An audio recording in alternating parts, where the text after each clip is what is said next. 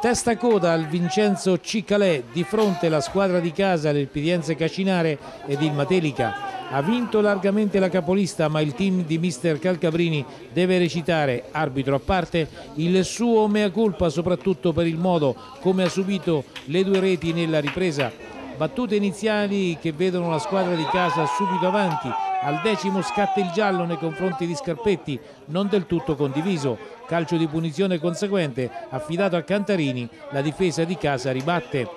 Al quarto d'ora a fondo dalla sinistra da parte di Tramannoni, palla dentro, Severini spedisce la stessa sul fondo, il conseguente calcio d'angolo non regala nulla. Ventesimo, Api giù sulla corsia di destra, qualche metro dalla linea di fondo, calcia Severini con l'interno destro, tiro imparabile, vantaggio Materica e l'1-0, difesa di casa non esente da colpe. 32esimo il portiere Morlacco anticipa Api e l'opportunità per il Materica di raddoppiare sfuma. 36esimo Lazzoni va sul fondo nella corsia di sinistra, retropassaggio Severini impatta la sfera che viene toccata con un braccio da un giocatore della squadra di casa, Mozzoni, rigore che Api trasforma 2 a 0, diluvio di fischi nei confronti del direttore di gara per una decisione apparsa assurda. Sergio Cartabrini.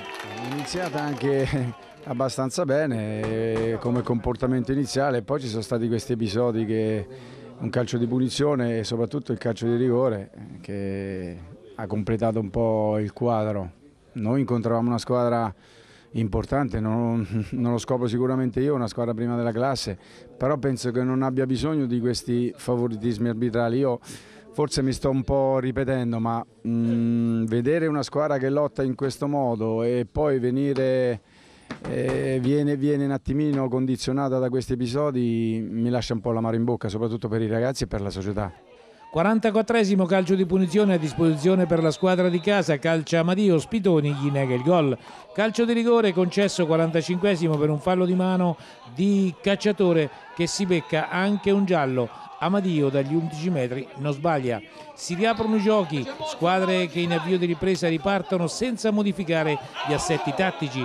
Resta in 10 del Pidienze dal quinto del secondo tempo, rosso diretto per Bracalente. Al decimo punizione dalla destra, calcia Amadio, pallone ribattuto ancora una volta dalla difesa ospite. Al dodicesimo esce Staffolani per far posto a Colella. Diciottesimo calcio di punizione affidato ad Amadio dalla lunga distanza ma non ha successo. Ventunesimo ruba palla cacciatore che si fa una bella volata inseguito dai difensori locali. Si presenta in area pronto per infilare Morlacco alla sua sinistra.